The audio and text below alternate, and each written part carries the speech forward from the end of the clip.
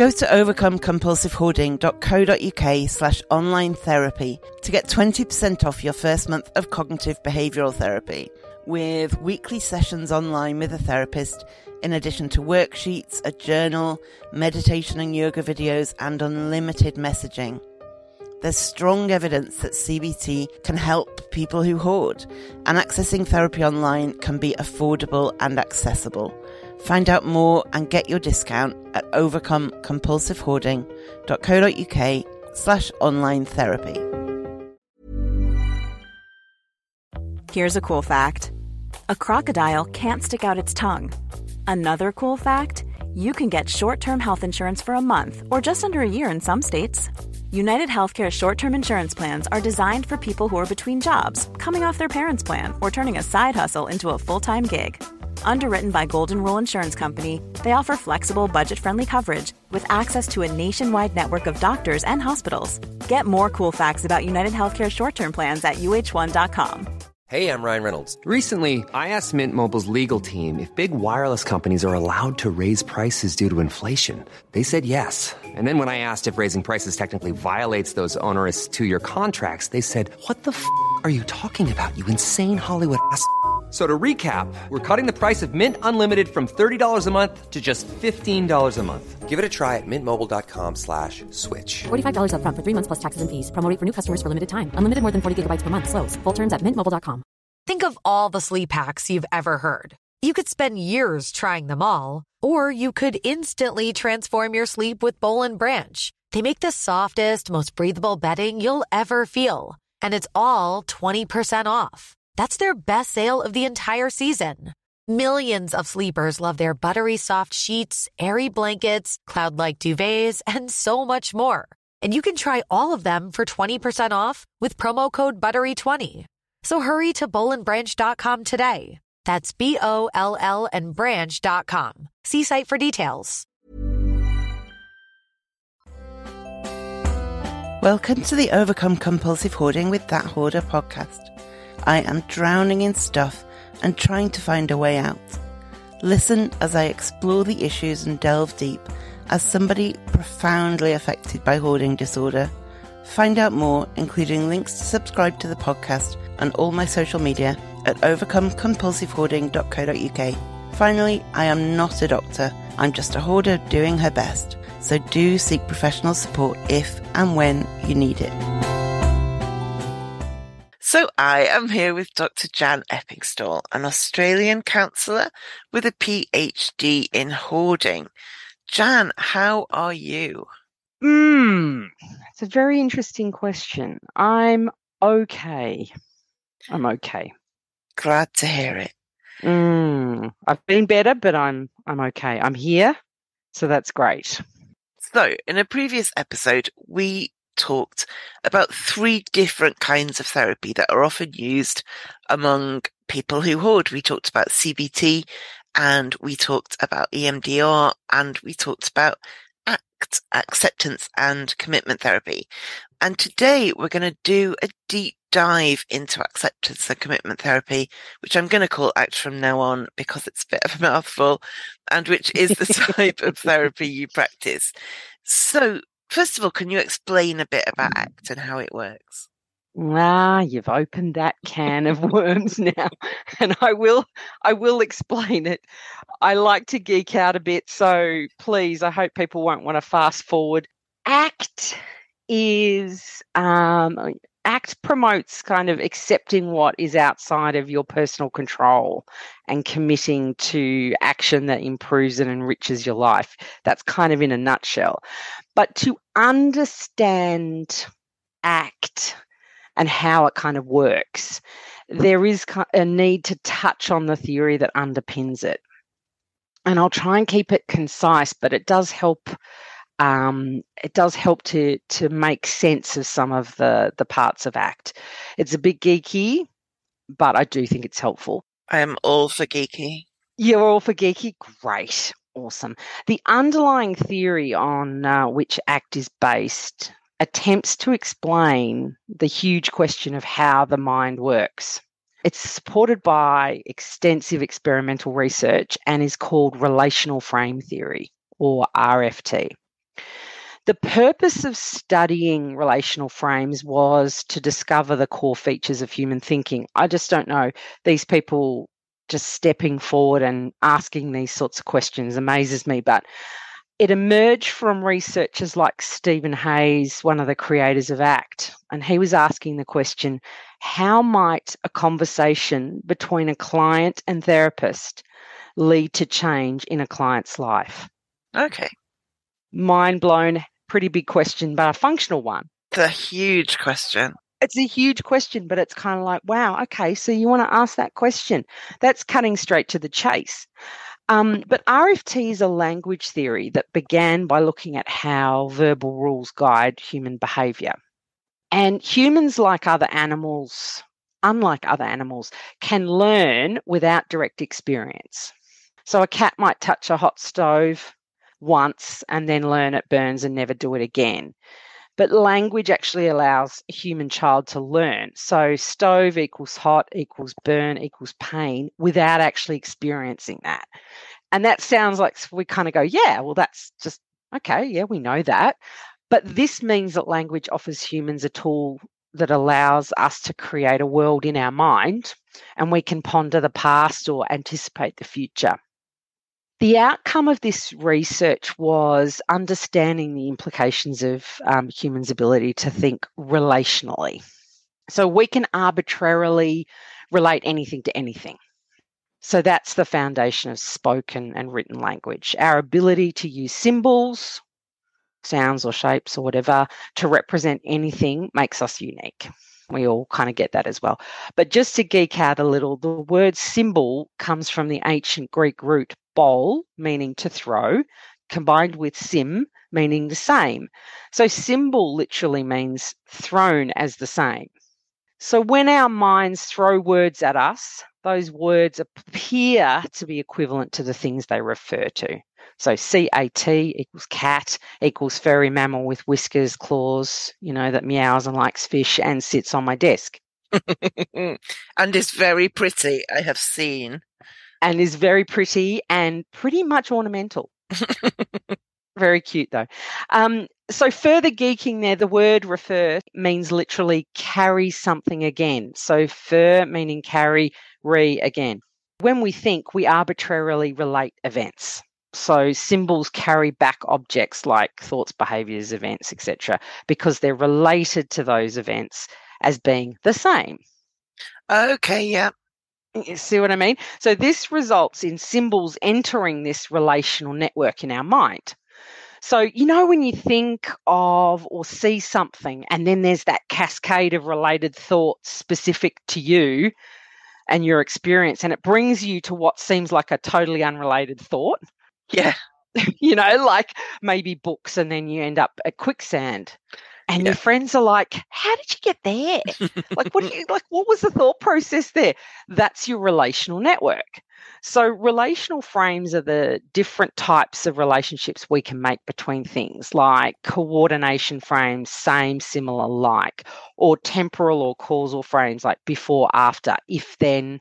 Okay. Comparative or evaluative stuff. Yeah. So, better than, worse than, small, big, safe, sane, all those sorts of evaluative kind of words.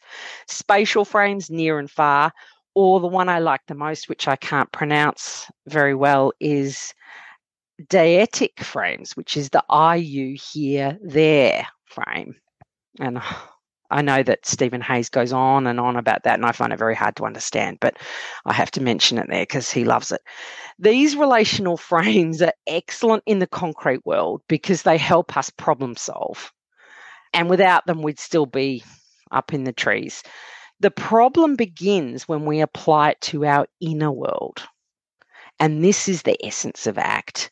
So when we apply our problem solving mind inward, pain and suffering can occur.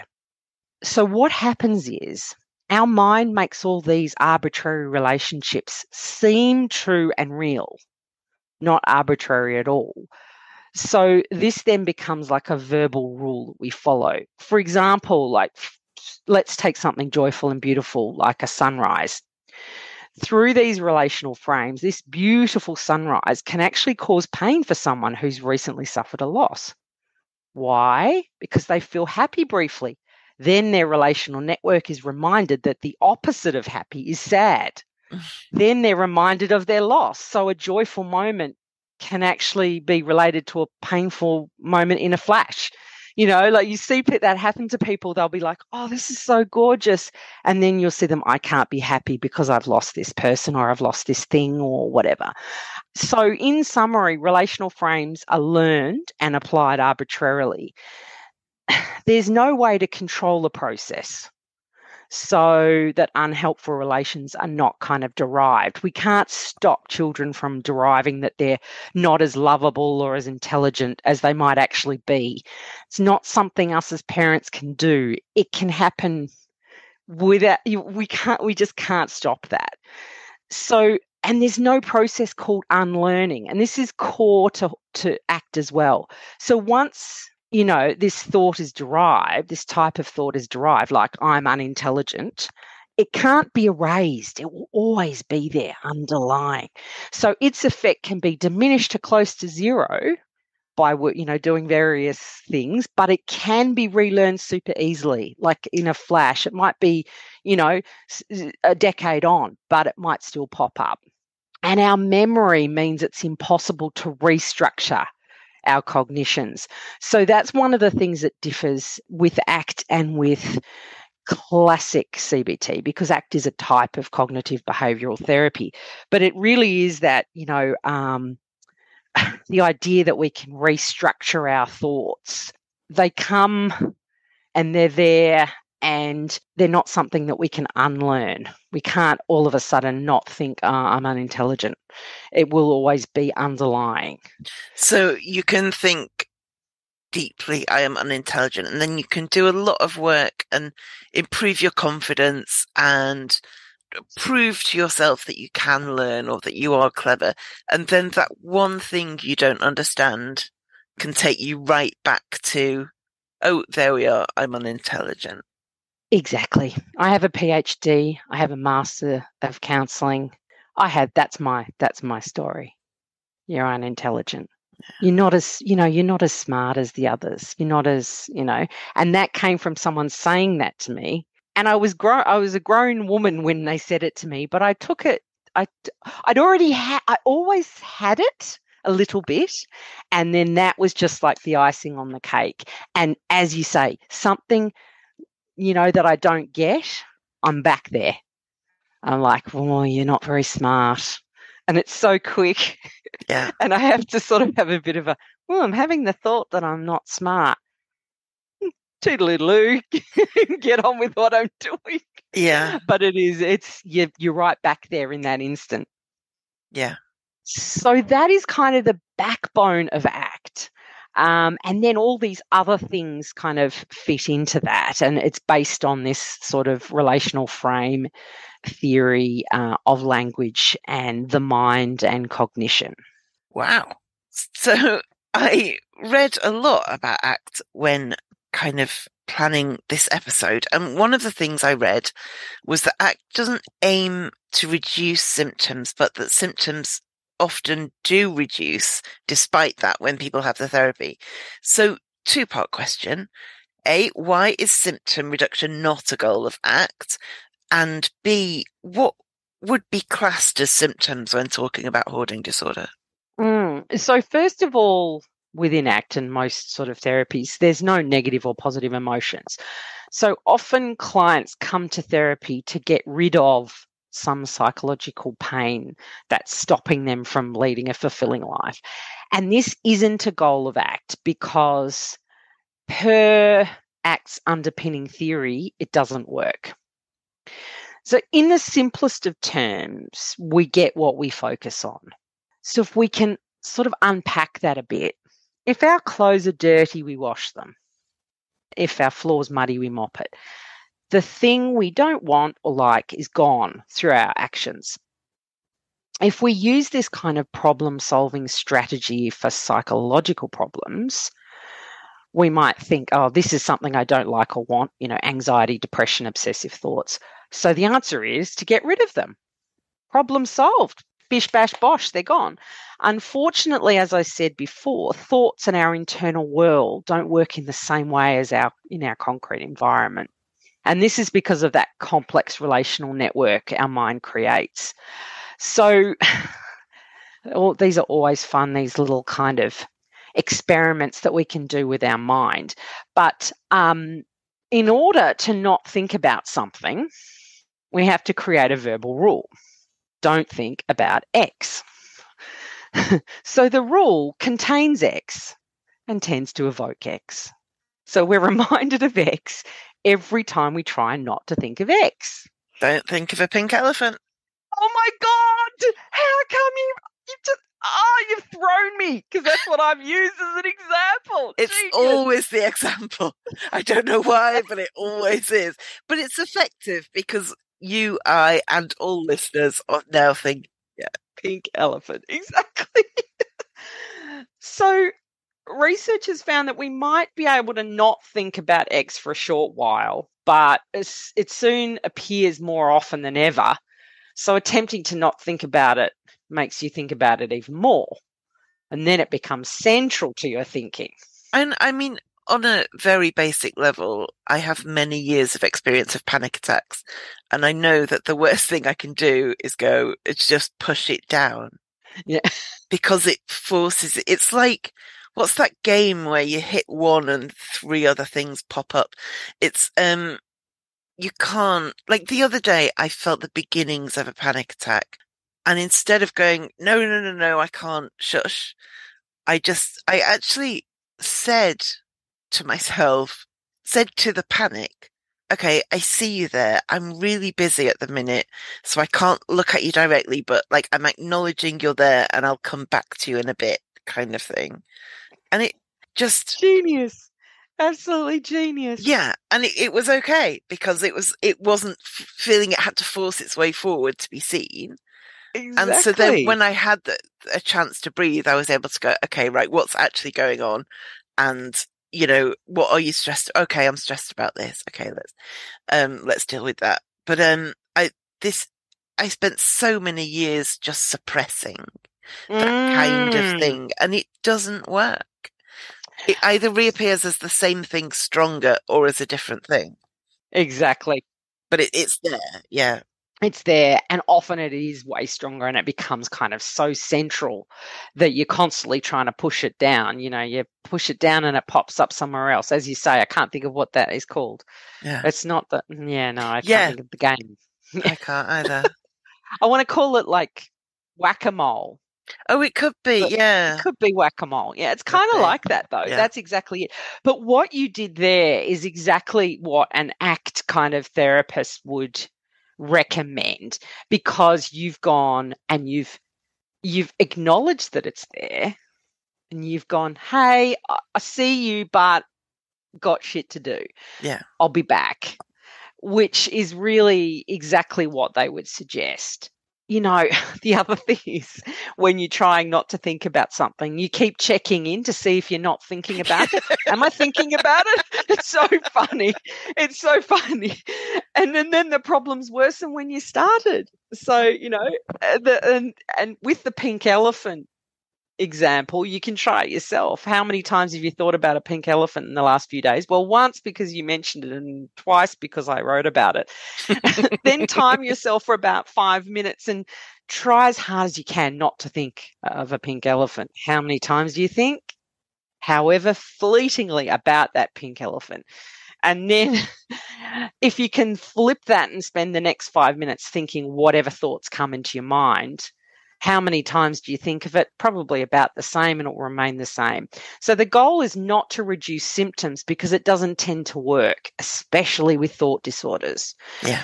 Um, at really just the suppressing of things as you as you've suggested with a panic attack or um, or any other sort of oh you know my worthlessness or my hopelessness etc if we if we get what we focus on um, and that is definitely something that's kind of the backbone of of ACT. in terms of what would be classed as symptoms when talking about hoarding, anxiety about letting go of something that we, we might think is useful or valuable or important is kind of the central symptom. So, in essence, hoarding disorder is an anxiety related disorder. People who hoard want to remove that anxiety with thoughts like, I'm I, might, I must get rid of this overwhelm and anxiety. And then they think of ways they can do it, problem solve it and they'll think something like, oh, if I throw this away, then I won't be able to tolerate the loss of the object. Uh, what can I do to tolerate the distress? The answer comes save it, keep it. And the anxiety drops quickly in the moment. And so you go, there's the solution for everything. exactly.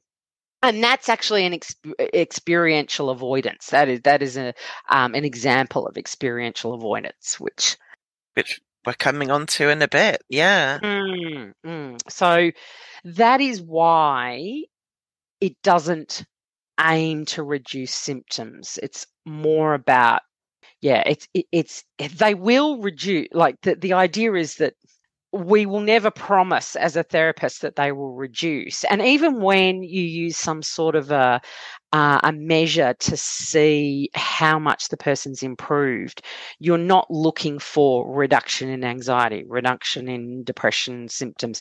We're looking at how are you able to manage those things when they come up like yourself. Like okay. i would give you five stars. I'd be saying right you, you, the, the level of anxiety was still there but the way you handled it was five stars. That was exactly you know and that and, and you've now seen that that works. Yeah. I was like ah okay. It's not it doesn't own me now I can talk to it. I can have a, you know, I can have a bit of a conversation and let it know that I can't, I can't, I can't do that right now. I haven't forgotten about you. Yeah. I will come back. Yeah. Many years ago, I worked for a while in uh, mental health services and worked with a group for people who hear voices. And mm. they were doing what was then quite radical and is now a bit more mainstream, which was moving away from the traditional psychiatric view of voices as something to be managed into a view where voices have something to tell you. And so rather than medicating them away, it was more about, okay, see, you know, see what's going on. What are they saying? Who does that represent? All of that kind of stuff. And it was really at the time a growing movement that is now got a bit oh, more oh. acceptance. But one of the strategies that they used to recommend if if your voices were particularly bad was to say, okay, I like you've got a lot to tell me, but just not right now. Can we schedule this in for later kind of thing? And um and yeah, things would calm down and then a few hours later they could say, okay, let's have that chat now or whatever. And um and when they felt more equipped to deal with it.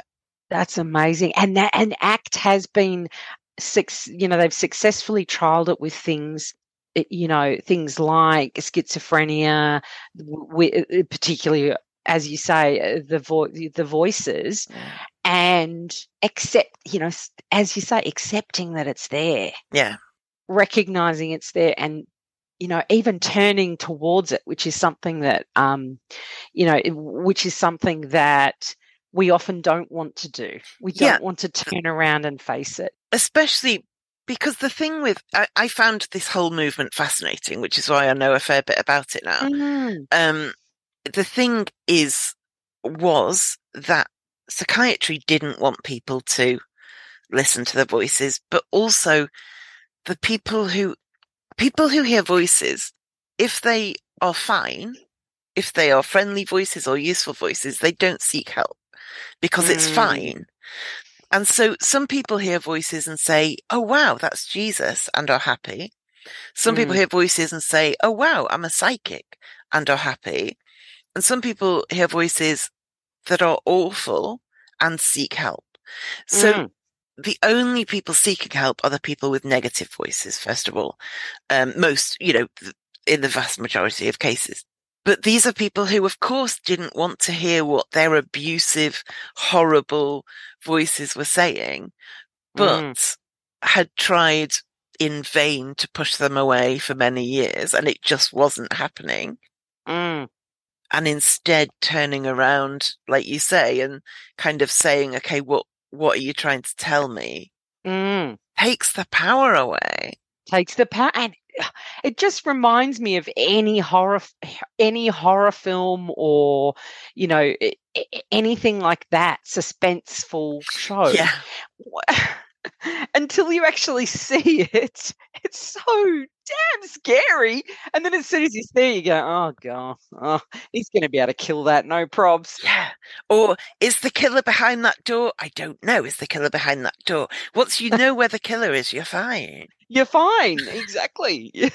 And it's funny because that's um that was stephen hayes who's one of the the key um, developers of act. He's um he's done a TED talk and uh, a few other things around his panic, his severe panic attacks, and that's what brought him to this space. And he talks about that time when he's just on the floor in his bedroom, just thinking he's going to die, and he's like, "No, I'm turning around and I'm going to look at you. and that was kind of the start of his sort of research around it, thinking, hang on a minute, if we, you know, if it loses its power and I take my power back, that is the process that he's kind of worked on for the past whew, 40 years at least, probably longer. Um, and that's kind of set, that's essentially uh, what ACT is about. I will find that TED talk and put it in the show notes. Yeah, do. It's really good. It's worth the it's worth the time because he's just yeah. I'm a bit of a, a bit of a fangirl, but yeah, I do I do like Steve Hayes. He'd be in his seventies by now. He's, ah. he's not not ah. young now, but yeah, he's still he's still prolifically working. Good. So, reading about ACT, I kept coming across the terms psychological flexibility and psychological inflexibility, and the ACT is thought to be best suited to conditions where psychological inflexibility is a big issue. So, I read psychological inflexibility and interpreted it as stubbornness. Um, is that a fair summary? and also, is I think the answer to this will be yes on instinct, but is psychological inflexibility common in hoarding disorder? I love that that it's that you see it as stubbornness, sort of, but it's a bit more complicated than that. It kind of is, yes, kind of is. Um, Steve Hayes and his his colleagues define psychological flexibility as being in contact with the present moment fully. So there's your mindfulness piece as a conscious human being without unnecessary defense and persisting with behavioral change um, according to your values. So he developed, him and his colleagues developed um, the psychological flexibility model. And this model can describe both psychological health and the opposite, psychopath, psychopathology. They called it embarrassingly the Hexaflex. Uh, he didn't really want that to stick, but it did. So he's just, oh, he rolls his eyes every time he says it. But there are six processes that contribute to flexibility or inflexibility. And these six processes can be further grouped into these three specific response styles. So the first is open uh, flexibility, acceptance and defusion. Then we have centered, which is being in the present moment and something called self as context. Don't ask me about that. uh, we could be here for a lifetime. Then the third. It's not really that hard, but it, it, it makes things a bit complicated. Then the third response style is being engaged with your values and committed action. So it's kind, it's this hexagonal model with these three kind of response styles. And it might sound like a whole bunch of BS, but the idea is that when you are flexible psychologically, you're able to be open and willing to experience thoughts and feelings without getting hooked by them and believing them to be true, which is what hooks a lot of us. We we have these thoughts and feelings and we think, yep, that means this is the truth. I'm, you know, I'm unworthy. Why am I even bothering? No, it's a thought, it's not the truth and we need to, the idea is to be able to be in that present moment, not worrying about the future or ruminating over, over the past. And you're able to then take action towards the values that you've chosen for yourself, not those ones that you think you should be working towards, but the ones that you've freely chosen. And then the opposite of these six processes is experiential avoidance and cognitive fusion. Those are the closed, kind of um, inflexible ways of approaching things. And then inflexible attention and attachment to the conceptualized self. Now, those two things are really about ruminating and being in the past or worrying about the future. Attachment to the conceptualized self is about the stories we tell ourselves about who we are you know, those little stories ah, this is the type of person I am. These are the ways I do things. Um, and that, I guess, could be seen in that stubbornness kind of um, uh, stubbornness position because you're really not willing to look at yourself in a different way from a different angle. It's just, this is my story. And then, in terms of being engaged, we can have values, but they might not be values that we've chosen freely that are really deeply held by us. So they might be fused or avoidant values, is what he actually, what Steve and uh, his colleagues call them, which kind of means, for example, with hoarding, it might be I have a value of scrupulosity or I don't want to waste. And it's just that rigidness to that that then impacts all the other parts of our life. So that he would call a fused or pliant value. Um, and then in terms of actions, you know, it's just sitting around doing nothing or being very impulsive um, is another way we can, you know, be inflexible regarding our actions so in my research, I did find that people reporting clinical levels of hoarding behaviour were more inflexible overall, but specifically experiential avoidance and that cognitive fusion piece were the most significant. Additionally, there was some issues around present being present in the moment. Some ways, in part of their mind, in some of the mindfulness measures, I found that uh, people with hoarding um, tendencies were more focused and that seemed to be on things like you know the individual nature of things and that you know recognizing the color and the beauty and all that kind of stuff was very strong and a lot of other areas it was a lot weaker. So um, i thought that was quite interesting. But experiential avoidance and cognitive fusion being sort of hooked by our thoughts and believing them um, and that wanting to avoid any negative internal experiences were particularly high for the group that I um that I surveyed. Yeah, that makes a lot of sense. Mm. One study I read, and I'm going to link to all of these studies in the show notes at overcomecompulsivehoarding.co.uk in case you too want to geek out on therapy theory. Want flexibility? Take yoga. Want flexibility with your health insurance? Check out United Healthcare Insurance Plans. Underwritten by Golden Rule Insurance Company, they offer flexible, budget friendly medical, dental, and vision coverage that may be right for you. More at uhone.com. Hey there, it's Michele Norris. I'm host of a podcast called Your Mama's Kitchen. When I travel, I'm usually looking for a way to find a taste of home when I'm not at home. And one of the things I love to do when I am at home is entertain. And Airbnb allows me to do that. When I was in California recently, I rented a house that had a great kitchen. And when we were sitting around the table, we're all thinking, we're in someone else's house. Someone could be in all of our homes as well. If you have a home, but you're not always at home, you have an Airbnb. Your home might be worth more than you think. Find out how much at airbnb.com/slash host. But one study said ACT is aimed at improving the components of a client's life that are deemed to be important by that particular client. Does that mean it's harder to use ACT if somebody is not keen on change? Yeah, that's an interesting one. Often clients come to see a therapist with the hope, as I said earlier, of getting rid of something anxiety, depression. So they want this to change. So that is really important to them. And that means you can still work with them. I know that it's definitely been used with um, treatment reluctant clients or treatment refusers because it's focused on the individual in their context. What is the problem as they see it?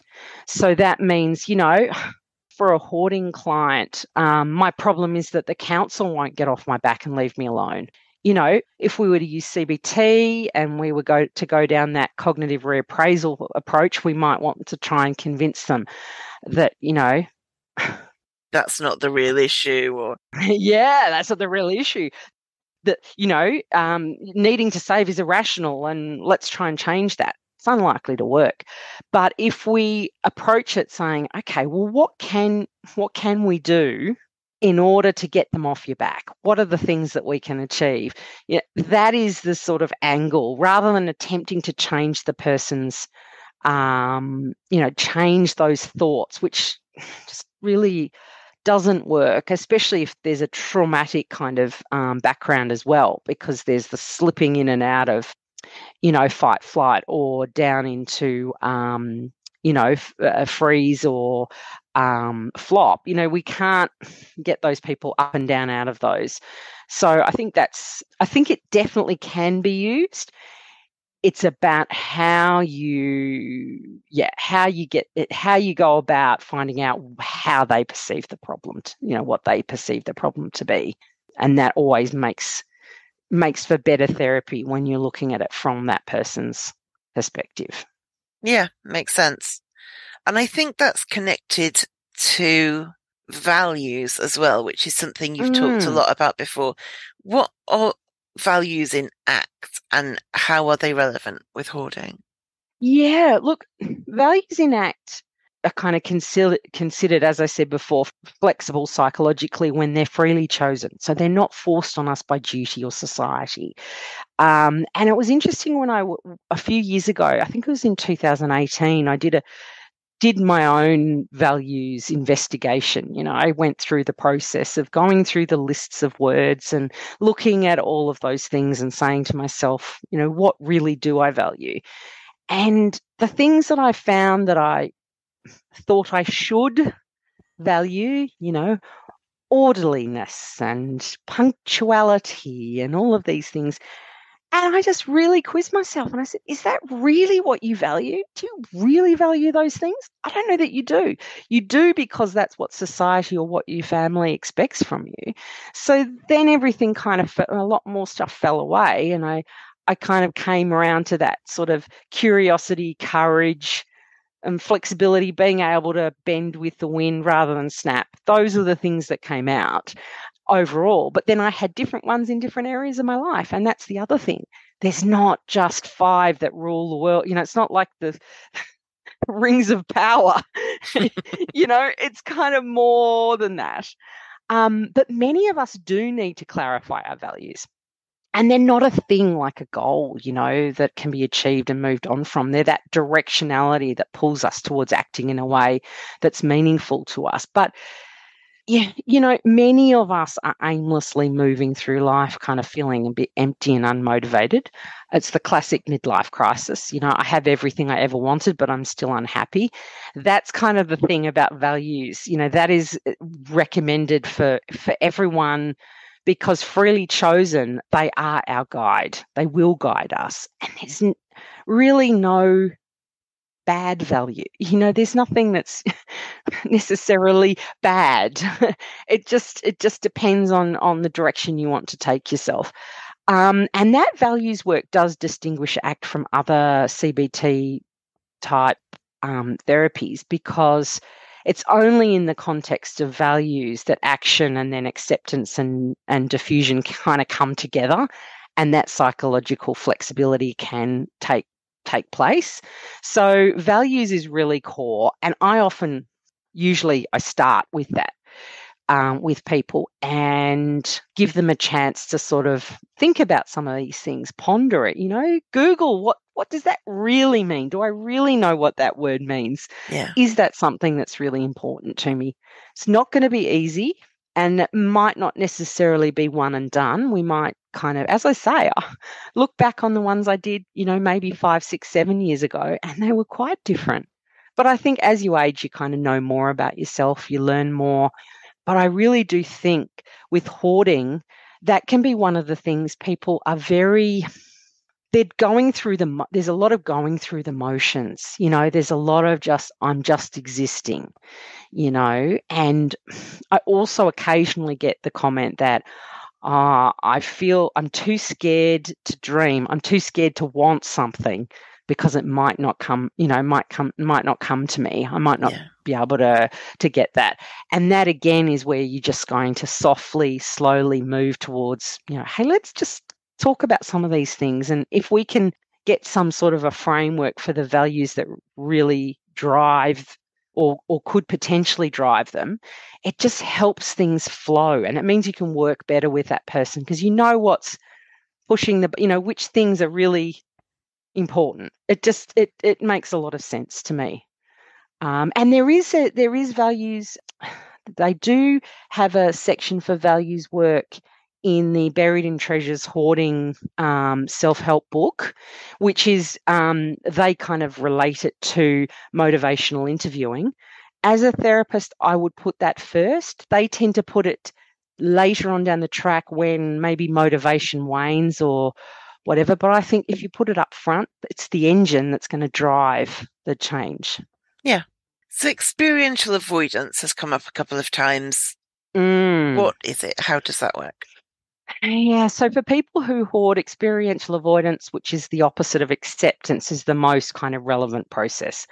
This is the avoidance of all internal experiences that the person considers negative. So it's also avoiding all circumstances that might expose a person to anxiety.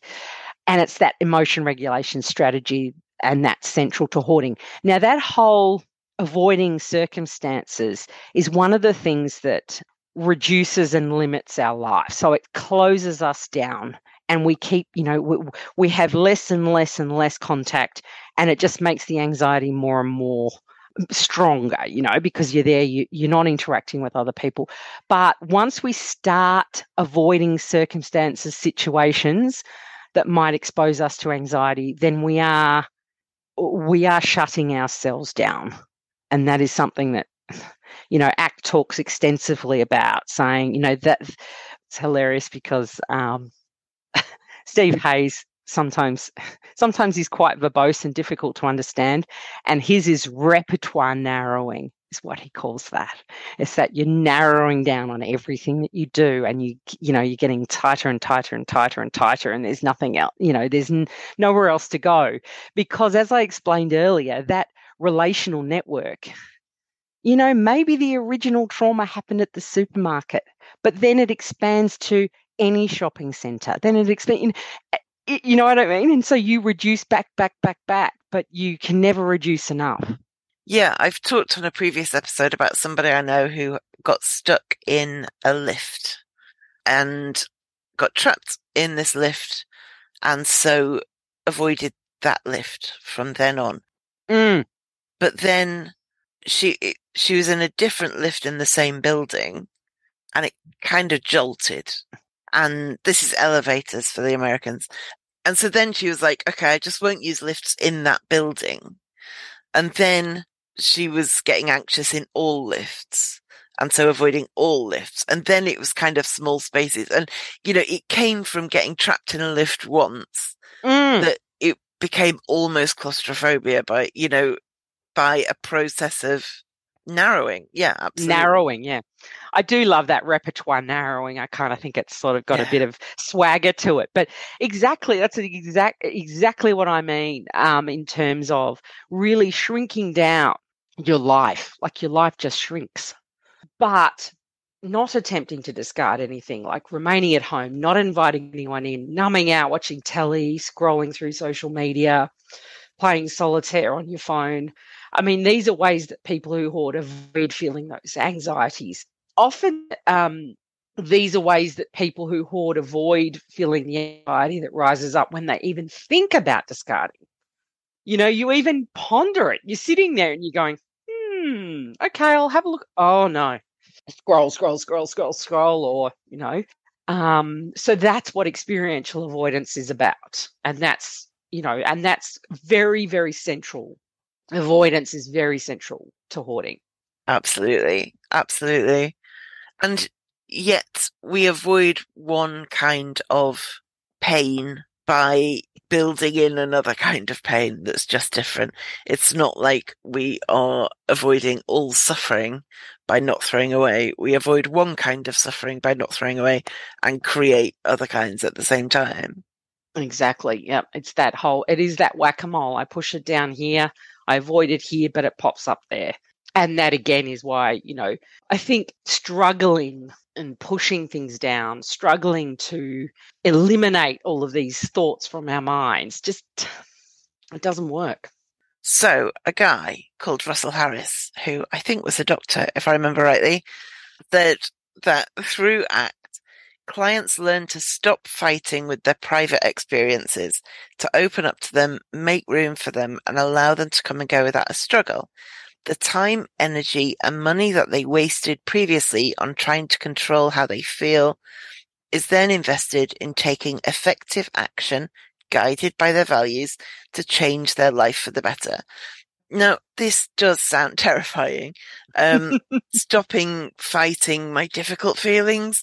What, how do I not fight? You know, I feel like fighting my difficult feelings is such a protective thing even if yep. it's maladaptive. How does mm. that not be terrifying? Yeah. And I think it's that whole um, turning towards it and exposing the boogeyman, you know, like that, I think is what the idea is that we can stop fighting. It's like being in quicksand, you know, the more you struggle, the more likely you are to sink. Whereas if you just steady and recognize what's happening, you can kind of make I guess, room for them. You know, it's that very much that curiosity that I bang on about, like looking at our thoughts rather than from them, allowing them to be there and acknowledge them. Like, thanks, mind. My mind's called Gloria. Gloria, thanks for telling me I suck, but I'm still going to start an a cappella group. Too bad. You know, that sort of stuff is making room. That's what that's about. Yeah, that makes sense. And it doesn't, I guess you don't have to jump in with both feet and go bring it on. You can ten- be tentative and do it gently and carefully. It doesn't have to mean facing all your demons in one go, does it? No, not at all. So I struggle a bit with the acceptance side of acceptance and commitment therapy on the basis that accepting I fully don't don't fully understand it. Um, mm. what if something is just unacceptable? And could accepting things as they are lead us to actually resist change? I accept that I live in a hoarded house. I accept that, you know, I can't have my friends over, whatever it is. Mm. I think the thing that always um, confuses people about this, ex- the idea of acceptance, um, it's more like willingness. So it's not resignation or tolerance, it's this willingness. So to be willing and accepting, you're adopting kind of like a gentle, loving posture towards yourself, more like self compassion. So it's the opposite of trying to control thoughts and experiences that are actually uncontrollable. There's kind of that suggestion that to be willing and accepting means kind of a metaphor of noticing that you're the sky, not the clouds the ocean you're the ocean not the waves. You know you're it means noticing that you're large enough to contain all of your experiences. And so unwillingness to have anxiety then predicts anxiety because you just you know as before with our pink elephant if we're unwilling that means we're pushing it away. I think acceptance is just the way we we think of it and how we use the word generally but it's it is it's more if you think about about it more as a willingness you know i'm willing to live in a chaotic home or i'm unwilling yeah.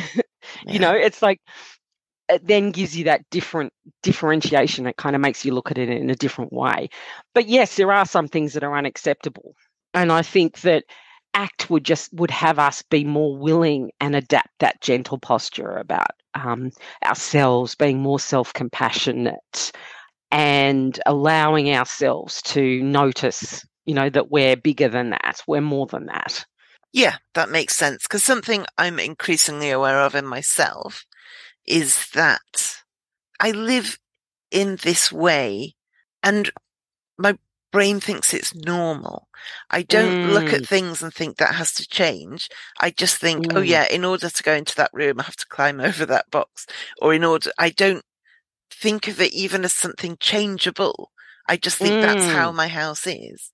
Um. I have mm. nowhere to put my bag because there's stuff where I would put my bag. And it takes a while for me to go, oh, I could move the stuff because it's all just almost too accepted in my brain. And I guess that's where my hesitation was. Yes, with that with that word exactly. Yeah. yeah, I'm just happy to accept that this is yeah, my circumstances. It's more around that piece of whether you can control it or not, I think is really the, you know, the core of it because accepting the thoughts that come and go, knowing that we can't change them as such is part of it too. Accepting that they'll come, they'll go. I don't have to follow those thoughts. They're just words that have uh, strung together in my mind. They don't actually control me. Yeah, and that also rules out the kind of other fear that I guess I had about it around what if somebody's mistreating you or, you know, something? Do I accept my circumstances passively when, mm. you know, that may be unacceptable? But again, from what you've said, it's clearly a, a different realm. Yeah, yeah, and that whole and that is one of the things that um often comes up, you know, when you're working, w- when you're learning or you're teaching people around ACT, and there's that. But what if the person's, you know, in this situation, in that situation? And look, that's another whole that's another whole gamut because a person can be working on working on their psychological flexibility, but it may mean that they are not accepting of the relationship that they're in or in the circumstances that they're in.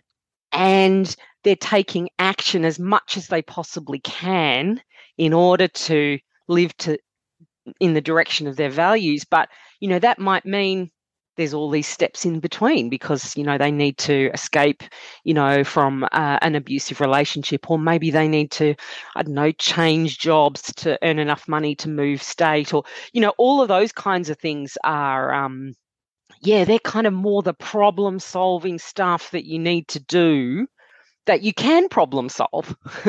Whereas anything that's kind of like a thought or a feeling or emotion, all that sort of stuff is is is not um, suited for problem solving as such. Yeah, makes complete sense. So a study was done into an online self-help program where mm. people who hoard can use ACT techniques on themselves. Now, it was, it showed kind of reasonable success from what I read, but I'm pretty skeptical, if I'm honest, about how, how this would compare to working with a therapist. Yeah. Um, this is Jennifer Krafft's stuff, isn't it? She's a, um, uh, yeah, she's a, um, sort of a fellow uh, traveler in this space. And I contacted her when she completed this for her PhD uh, thesis because I did mine around ACT, and she's the only other person I know who's done it around ACT. And we had a bit of a chit chat. I think, you know what? I think if you are an individual who's motivated for change and you're um, able to kind of sit and absorb this information through that kind of online situation do it. You know i don't think it's you know it's it's certainly not going to be um, detrimental. However what i said to jennifer was i said look i'm working with lots of people who you know have a great deal of trauma in their background. And that is where we need you know the one-on-one support because without that kind of connection with the therapist, you know, the positive regard, all of that kind of thing of being in the room with someone, even just being on Zoom one on one with a person is that step better, you know. So I think, look, it's better than nothing. And you probably could learn a few, you know, great ways to manage things. And it's it's worthwhile. But I just think it's a whole nother level for people who you know, who have um, a significant trauma background. And that's what I was saying to her like, hey, what, how are you managing that? I'm seeing this. What are you seeing? Um, and for her, that wasn't that wasn't evident. So, yeah, I think it's worthwhile. However, it is not probably the best option. I mean, the best option, the best option is therapy, and then having someone assist you in the home for, you know, that that's that, that's basically what the research says, and that's what my experience suggests is that there needs to be that, you know, trust and that connection with a person who comes into your home that you accept as someone who's, uh, you know, you know, someone who can help you. And then it's actually moving through and learning how to make decisions and listening to what your thoughts are. Saying things aloud just thought listing like mad just i'm thinking this. Dit, dit, dit. that's what really works. Um, but that's not that's not uh, you know accessible for everybody. I wish it was. I wish it was that's exactly what i was going to say not everybody has the money for help or even if they do, not everybody has access to somebody mm. who, with with specialism or with even knowledge of the, you know, never mm. mind specialism. I know. And so, yeah, and so online kind of things can be a stopgap, or they can be, or you know, as you say, for some people, I think if it's a kind of reasonably simple, like there's not too much co-occurring, maybe Mm. I hesitate. I don't think it's ever simple, but you know what I mean. Simple as in, as opposed to multiple things at once going on. Yeah, I know what you mean. As in, but yeah. exactly. And I just think that the whole, um, I think the other thing it could be good for is for people who are kind of tentative about therapy or that they're not quite sure am I really a hoarder or is this really, you know, is this really right for me? It's that no um, risk kind of way of engaging, which I think is, you know, is quite good. Um, and in a way, that's something I've been thinking about for a while. You know, should I be developing something that is no, you know, like a no contact from me, just a very much a, you know, and they can just kind of go and see see if that is something that would help them, and then they can go off and find specialist treatment if there are people out there who can help them, you know. And also, I'm wondering if somebody has had a course of therapy and found it really useful, and then a year or two down the line feels like they need a top up. Maybe mm. that kind of online hands off could mm. could be enough when you've already done the work. Yeah, that's right. And like almost like a maintenance kind of, hey, look, yeah, this is probably what's happened, you know, because it, because it, really it happens to all of us. We you need reminders, yeah. Slips, isn't there? We slip back and we kind of go, oh, I forgot about those things that I used to do, and they really worked. I do think that engaging in therapy in that way, there's a lot of people have a little bit of a a mindset that it's weekly i'm going to go and see my therapist and we're going to talk about my childhood and we're going to sit you know i'm going to lie back you know so freudian. And really it's not like that and it doesn't need to be like that for a lot of people. Even it you know i have clients who come to me when they you know they have a you know a problem or something they want to discuss something that's just perplexing them you know i can't get around this situation. What and i think that if if they know that they've got someone that you know a compassionate person to talk to about these things who understands often i'll say oh so you mean blah blah, blah. yeah that's exactly what i mean. You know just having someone who doesn't look at you like what is just, that's just you know a tiny step towards feeling understood and feeling seen and that's what people want you know people want to feel seen and understood.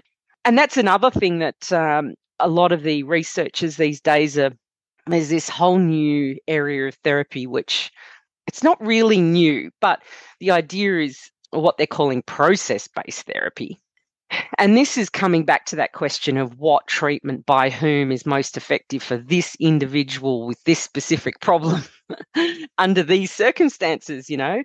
And so the CBT theorists and the ACT and mindfulness based the- theorists are coming together and created what they're calling process based therapy. And it's not a new method, it's just a way of taking all of the core change processes that have been researched and then applying that to the individual and looking at the functional analysis of well where, which parts of this person's life and cognitions and and things are impacted and where are where are those loops that you know the, the never ending loops of things that are just constantly reinforcing one another.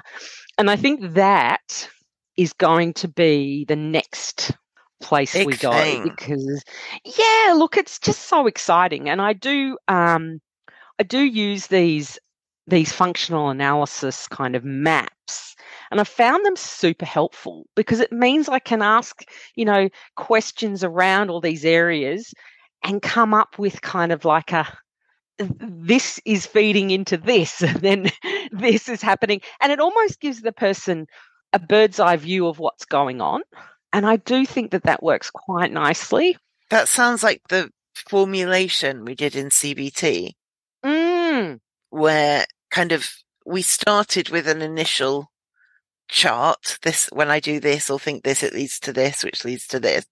And then over the course of doing it, added to it as, as things Mm. came up. And then at some point later, if I was stuck, she would bring up the formulation and we would say, okay, which bit am I in now? Where, where, Mm, exactly. I mean, when you've got Steve, uh, you've got Stefan Hofmann, who's a you know old school CPT CBT man. You know, him and Steve Hayes used to be at each other's, you know, dueling in peer reviewed spaces, and now they've published at least two books together. It's like, holy smoke! You know, this is all happening. But I do think we need to look at the individual so much more than often we do. We look at the average person, you know, how is this working for this average person? yes. But none of us are that damn average person. Um, and that is what I discover more and more every day with my work. Everyone is so individual. You know, everyone has got their strength. You know, a lot of people have got strengths that you just, you know, you covet. You're like, wow, I wish I could do that. And of course, they all have their, you know, their things that they need to work on. That is what I love about it. I'm working with people with lots of different struggles and also skills and strengths. No average. I mean, not one of them. yeah, like I guess with any, I I'm always hesitant to talk kind of in diagnoses. I think they are Mm, that made more important than they are than they really Mm. are in psychiatry. But if you're looking at people who hoard, there are themes, obviously, mm, because that's what groups people together. But that's Mm. not to say you can say hoarders benefit from mm. X, you know, because I'm different to your clients, to listeners, to, yeah, Exactly. And that I think is, I think that's one of the unfortunate things with the kind of clinical psychology space. It's very much that we want to use a manualized treatment that we can kind of follow the bouncing ball and just do, you know, what it suggests. And I get it because, you know, if you're doing a study, you want things Mm. to be evidence based. And so Mm. that involves talking to 75 hoarders or 750 hoarders and doing a thing and proving it works or doesn't work. Mm. And I understand why that's important. I absolutely do. But as you say, you still can't then transfer that knowledge to every single person. Exactly. And also, you might be out there working and something pops up that no one's touched on at all. Or they've, you know, maybe hinted to it, but never, de- you know, never delved into it. And you think, oh, wow, well, this person has all these things, you know, that I need to work with. Like I had a call, I haven't actually um, worked with this person, but I got a call with someone with dissociative identity disorder and hoarding. And um, I'm thinking, wow, okay, how you know what would i do if i were to meet that person how would i go about that no one out there is has dealt with a situation like that Yeah. Yeah. that i know of that i've spoken to so you know you're out there trying to work one on one with individuals and you've got to use all the tools in your toolbox um, and i think the best place to start is to really and try and map out those things in the different parts of their life. You know, what are how what are their thoughts? You know, what context are they in? Are are they in? All of those sorts of things. What are their circumstances? Um, and sometimes that doesn't happen in the clinical space. Yeah. So we've looked at the acceptance side of ACT. Looking at the commitment side of ACT, what kind of things might a hoarder be making a commitment to do? Mm. So, in terms of commitment, this really plays back into a lot of the stuff we've talked about with regard to habits. You know, like this is where once you've sort of looked at what your values are, you can then break that down into okay, well, what is my overall goal? What would I like to do within that value? And then it's breaking that down into tiny habits and saying, okay, well, it's really important for me to, you know, I really want to look after my health. So you've got your prongs there, you've got eating, exercise, whatever, and breaking that down. And that is what it's all about. It is taking those little steps and continuing to take take those steps towards or in the direction of values. And it's ACT doesn't kind of go, oh, goals are crap. You know, it doesn't sort of say that. It's not kind of like that. But it's more goals are great, but you tick them off and move on. So this is around have that value that you've really that you've freely chosen. Consider what goals you might want to achieve and then I just think the best thing for for people who are struggling with hoarding is those tiny habits daily. If we can get movement, it just builds it just it just builds on itself. And if we're doing our celebrating when we do tick off the box, it just kind of reinforces it. Kind of gives you that little buzz. Oh yeah, this may be completely way off, but uh, for some reason, I'm thinking about a kid at my school, and everybody was really frustrated with him because they were saying, You're so clever, you could go to university, but you're not oh. putting the work in. You're mm. so clever, you could go to university, but you're not putting the work in. And nobody could understand why he wasn't putting the work in until somebody said to him one day, Do you want to go to university? And he said, No, I want to be a car mechanic. Mm. And they were like, okay. So trying to push him to work to go to university had no effect at all. It was his worst nightmare. But mm. saying, well, okay, if you do like your physics, that will really help you as a car mechanic. And if mm. you focus on your maths, that will help you like, you know, putting people's bills together when you fix their car. And suddenly he was an engaged student who you know, was applying himself because for the first time in years, somebody had said, what are your values? Essentially, what's your, what do you want to do? Mm. It's essentially, what do you want to do? Who do you want to be? Oh, that's so frustrating, isn't it? And that is what we, what we do with educate, you know, with, with education. We think, oh, well, this is what, oh, everyone should go to university. Yeah. No, I don't agree. Yeah. If someone has that drive, I mean, he obviously had a, a real keen interest. Yeah. I'd love to know where he is now. I bet he did super well. Yeah, I bet he did. I bet he did. He's not someone I'm in touch with, but um eh, you know, he was a clever kid. He could have absolutely but that doesn't mean university is the only option and you can mm. be a mm. clever car mechanic there's no there's nothing unintelligent about being a car mechanic not at all yeah so if somebody says okay a hoarder should commit to doing this thing and kind of imposes that but that doesn't resonate with their values and their hopes and dreams then you know you should tidy up because i don't like it. I don't care if you like it or not. I'm not going to tidy up. Whereas you tidy up so that your daughter brings her child around for the first time in years. That might be what resonates. Exactly. Exactly. But if nobody says what's resonating for you, what, you know, mm. then you're not going to get somebody to commit to that course of action because they've got no interest in it. No, exactly. And that is one of the core parts of that committed action is that you know, it's got to be. It can't be some sort of pliance, something that you've just you know someone else wants you to do or Yeah. that you you know you think that the local council wants you to do it or whatever there's always something else that you can you know that the person's got as a driver to say i want to be able to have the family around for christmas lunch you know in 2 years time or 12 months time or whatever it is um, because I really miss having them. And there's all these, you know, you can just hear it in people's voices. You can see it when they talk about it. You think, no, no, that's that's the one. That that's the one that will Yeah. pull people through. And you're right. It cannot be actions that you think you should do. It can't be anything that you're shoulding.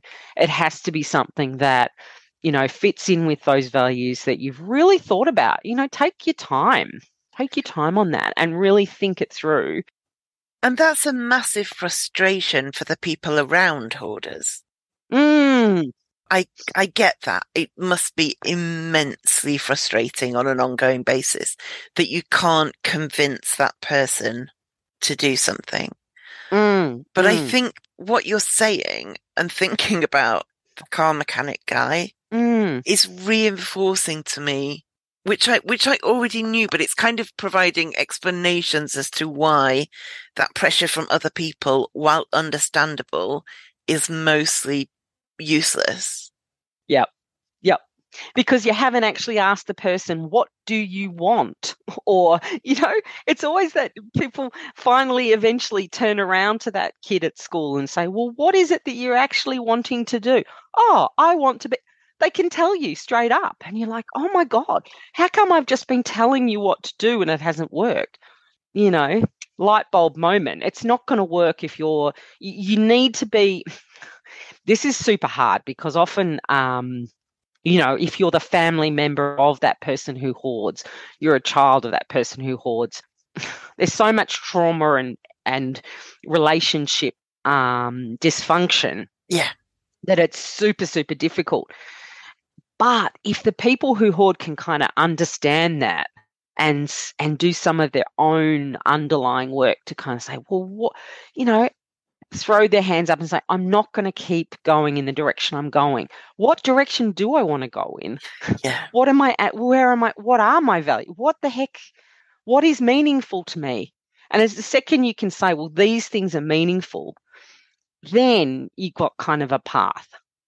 Then everyone else can kind of come onto that path with you.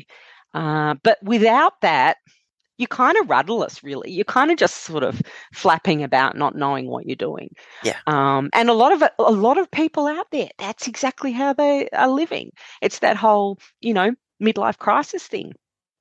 Oh, you know, I've got everything that I've ever wanted, and I still feel empty and alone. it's like, okay, Yeah. I thought that having the corner office and the posh car would do it. Mm.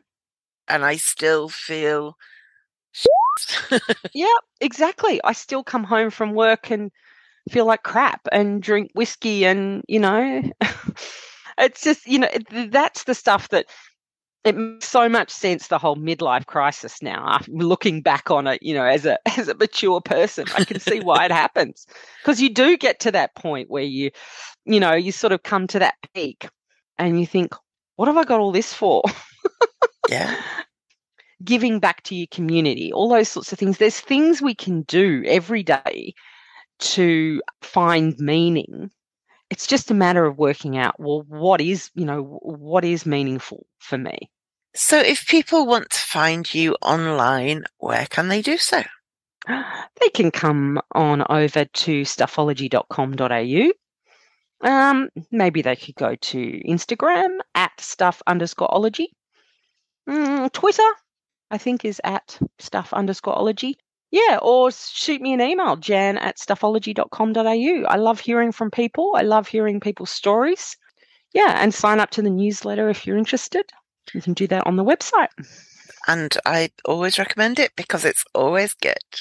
Mm, thank you very much. Thank you, Jan. You are a font of wisdom. It is much appreciated. I like being a font. See you soon. Do you have any burning questions you'd love me to answer? I'll get to the top tip in a second.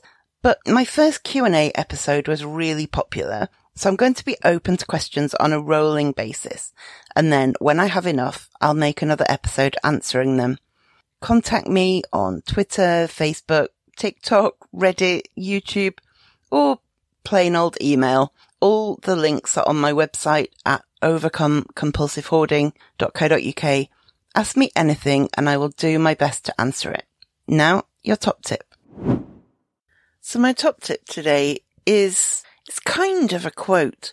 I saw a TikTok video or an Instagram reel or something ages ago. No idea who made it, but it was a guy talking. He'd been overhearing an argument on the bus between a couple and the woman said to her partner, I'd rather adjust to your absence than be continually frustrated by your presence.